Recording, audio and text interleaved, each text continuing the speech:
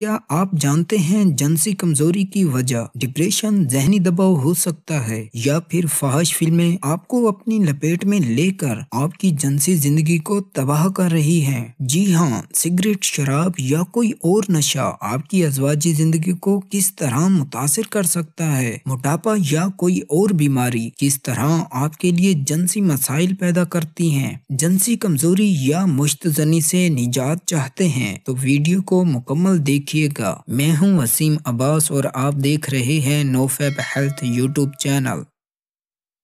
Number एक, depression और जहनी दबाव। जहनी दबाव नामर्दी की अहम वजूहत में से एक है। डिप्रेशन का असर भी शदीद होता है। डिप्रेशन की उदियात भी नामर्दी पैदा करती हैं। जहनी दबाव और डिप्रेशन से बचने के लिए वर्जिश करें। नींद पूरी करें। लड़ाई झगड़े और गुस्से से बचें। नंबर दो पोर्नोग्राफी फाहश फ़िल्मों में दिखाए जाने वाले गैर फितरी और गैर हकीकी सीन नौजवानों के जहन में एहसास कमतरी और कमज़ोरी का एहसास पैदा करते हैं, जो इन्हें नामर्द बना देता है।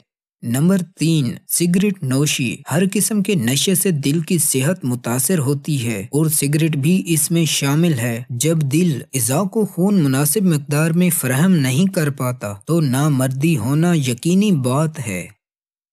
नंबर चार जियाबतीस और मोटापा जियाबतीस की वजह से खून में ग्लूकोज की मकदार नॉर्मल नहीं रहती और असाब भी मुतासर होते हैं, जिसकी वजह से तकरीबन 50 फ़ीसद मरीज़ नामर्दी का सामना करते हैं। मोटे लोग दिगर मसाइल के अलावा कोलेस्ट्रोल का शिकार भी हो जाते हैं, जिसकी वजह से खून की रवानी मुतासर होती है और नतीजतन नामर्दी पैदा होती है। इसके अलावा हाई ब्लड प्रेशर, असाबी बीमारियाँ, रीढ़ की हड्डी या दिमागी चोट, फालिज वगैरह जैसी बीमारियों से भी नामर्दी पैदा हो सकती है।